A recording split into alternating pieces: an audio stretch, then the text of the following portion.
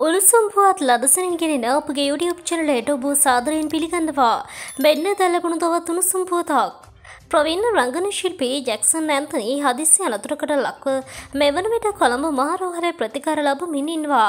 ඔහු ලක්වුණු හදිසි අනතුර ඔහුට ආදරය කරන ප්‍රේක්ෂකයන්ට වගේම පවුලේ අයටත් තදින්ම දැනෙනවා. පසුගේ දාහුගේ වැඩිමහල් පුත් අකිල දනුත්තර අපුරු වීඩියෝ පටයක් තමන්ගේ සමාජ මාධ්‍ය තුළ පල කරා.